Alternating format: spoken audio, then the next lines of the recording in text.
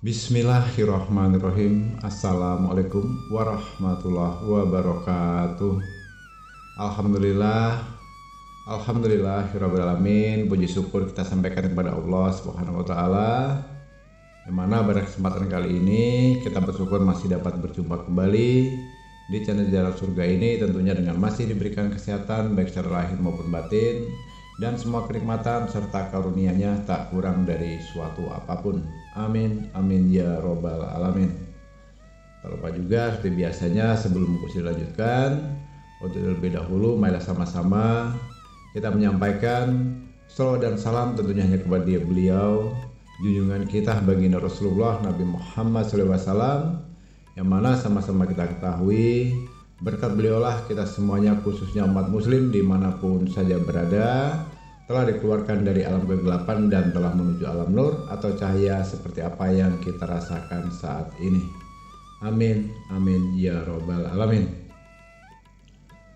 Allahumma sholli ala Sayyidina Muhammad wa ala ali Sayyidina Muhammad. Allahumma sholli wa salim wa barik alaihi al-fatihah.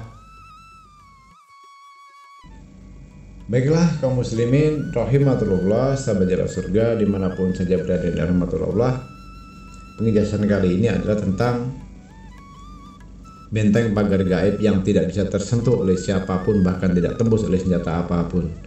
Insya Allah proses keilmuan ini sangat mudah tidak harus melakukan unsur syirik atau musyrik berpuasa dan yang sangat melelahkan hanya dengan amalan pendek ini nantinya insya Allah.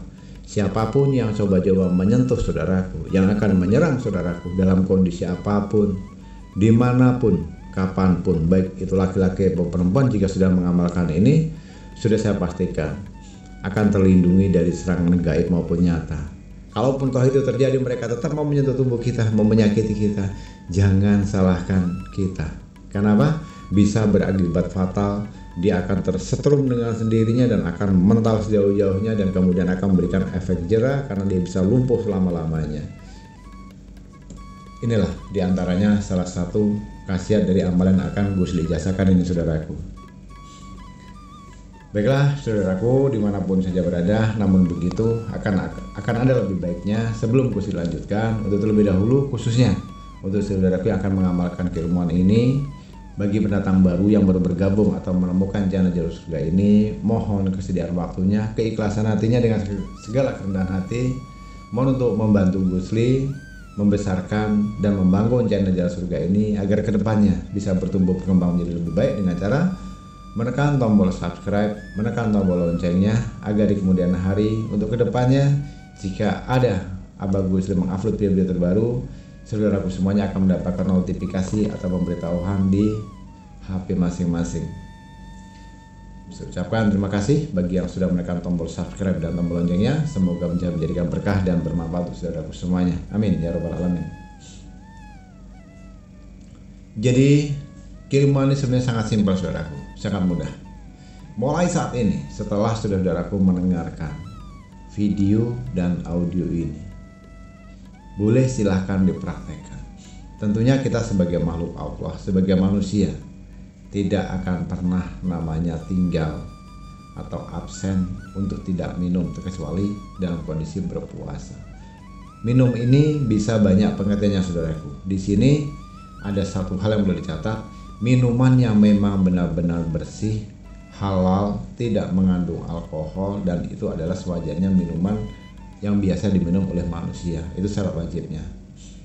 Jadi mungkin bisa jadi sambil mendengarkan video atau audio ini saudaraku sedang menikmati minuman. Minuman kaleng ya. Bisa jadi minum kopi, minum teh, minum susu, atau minum air mineral atau air minum air rebusan biasa. Artinya apa pun bentuk air minumnya harus air minum yang halal tidak mengandung tidak mengandung unsur haram. Itu syarat pertama. Kemudian saudaraku, setiap sebelum meminum air itu baca dulu Bismillahirrahmanirrahim kemudian La ilaha illallah Muhammad Rasulullah itu dibaca tiga kali ya. Membaca Bismillahirrahmanirrahimnya itu satu kali saja untuk bukaan saudaraku ya. Contohnya begini. Ini air minum nih. Katakanlah mau kopi mau teh mau air putih air mineral air kopi susu atau sebagainya. Apa pun itu yang jelas air minum yang akan kita minum. Pegang dulu gelasnya kita bacakan dulu. Bismillahirrahmanirrahim La ilaha illallah Muhammad Rasulullah. La ilaha illallah Muhammad Rasulullah. La ilaha illallah Muhammad Rasulullah. Itu dibaca tiga kali. Kemudian setelah itu Tiupkan tiga kali juga saudaraku ke gelas atau mangkok atau tempatnya air minum. Tadi akan kita minum. Tiup tiga kali Baru kemudian diminum. Dan ingat di saat kita membaca Bismillahirrahmanirrahim La ilaha illallah Muhammad Rasulullah itu tiga kali harus menahan napas. Tidak boleh bernapas di saat baca itu. Kemudian baru kita minum. Nah, hal ini saudaraku perlu diketahui. Seperti hanya masalah yang sangat sepele masalah yang sangat simpel tapi demi Allah, kalau ini selalu saudaraku terapkan, selalu saudaraku lakukan setiap kali mau meminum baik itu air apa pun, di mana pun dan kapan pun, pada saatnya nanti saudara akan akan tahu dengan sendirinya dari manfaat faedah dari amalan ini. Bisa jadi kita lagi di perjalanan mau ditabrak mobil, dak terhindar saudaraku, bukan kita yang ditabrak tapi sebelah kita kebetulan kita lagi naik mobil mengendarai kendaraan bermotor atau mobil. Bukan kita minta ya namanya musibah ujian semuanya hanya Allah tahu. Jadi seperti ibaratnya sedia payung sebelum hujan itu peribahasa kita masih sekolah dulu. Kita naik mobil tahu-tahu kita jalur kita sudah benar tapi orang yang nabrak kita boleh dari depan dari belakang. Insya Allah dengan amalan ini mungkin bisa jadi hanya mobilnya saja yang rusak yang ringsek tapi manusianya utuh tidak tersentuh oleh luka dan tidak akan meneteskan darah setetes pun. Subhanallah. Nah, ini untuk masalah itu. Begitu juga untuk manusia yang akan menyerang kita. Kita lagi di perjalanan, tahu-tahu mau dijambret, mau dibunuh, silahkan saja. Bukan kita menantang. Ya, serahkan semuanya kepada Allah. Allah lah yang akan melindungi kita. Bismillahirrahmanirrahim. La ilaha illallah Muhammad Rasulullah. Tidak akan tersentuh saudaraku oleh siapa pun. Karena apa? Karena di dalam ruh, jiwa dan raga kita itu sudah ada tertanam. Ya sudah ada suatu nur yaitu adalah nur Muhammad. Cahayanya Muhammad yang akan selalu melindungi kita dari baik itu kejahatan yang nyata maupun yang goib. Nah jadi nggak perlu lagi harus cari pagar badan kekebalan anti tembak anti cukur lembus kilat anti peluru dan sebagainya kita maklumi mungkin di satu sisi mereka membutuhkan itu demi untuk menjaga keamanannya. Satu untuk nyawa atau dirinya. Kedua untuk membentengi keluarganya. Bisa jadi untuk tokoh-tokoh seperti mereka para bodyguard security jasa keamanan pengawal pribadi dan sebagainya. Nah ini cocok sekali saudaraku. Karena ilmu ini banyak dimiliki oleh para sepuh-sepuh kita dulu. Yang memiliki ilmu tingkat tinggi jika diserang dia tidak bisa tersentuh. Mental. Dan kalaupun itu tersentuh, sudah dipastikan siapa pun yang menyentuh tubuh kita setelah kita mengamalkan ini siap tanggung risikonya maka dia akan menjadi lumpuh total seumur hidup bisa jadi mengalami kebutaan dan kematian pada akhirnya. lah min jalik. Jadi, saudara-saudaraku, itulah sedikit amalan sangat pendek, sangat mudah. Namun begitu, amalan itu akan lebih bagus diwiridkan di mana pun dan kapan pun. Selama kita mampu, selama kita bisa, ada kesempatan, ada peluang, perbanyaklah untuk membaca La ilaha illallah Muhammad Rasulullah. La ilaha illallah Muhammad Rasulullah. La ilaha illallah Muhammad Rasulullah.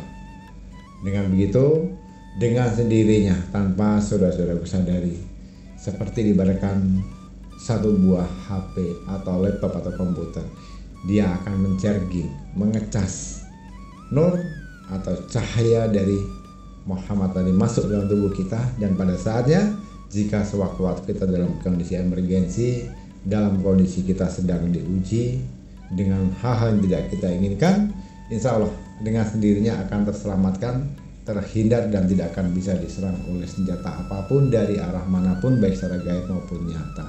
Luar biasa saudaraku. Sudah saudaraku nggak usah ragu lagi. Amalkan secara istiqomah yakinkan dan setiap kali kita minum baca tiup baca tiup baca tiup. Lakukan itu setiap hari. Kalau sehari minum 10 kali berarti 10 kali membaca 10 kali sama saja. Kalau dalam satu hari 20 kali baca apa ya 20 kali kita baca doanya setiap mau meminum air apa pun mau kopi teh gula ya mau kopi pahit mau sereal mau air mineral mau air jus, blender dan sebagainya. Silahkan saja. Apa pun diminum sebelum diminum, bacakan itu dulu tiga kali dan tiupkan tiga kali kemudian diminum. Insya Allah sudah akan terselamatkan dari kejahatan gaib dan nyata dan akan selamat dunia akhir. Amin ya robbal alamin.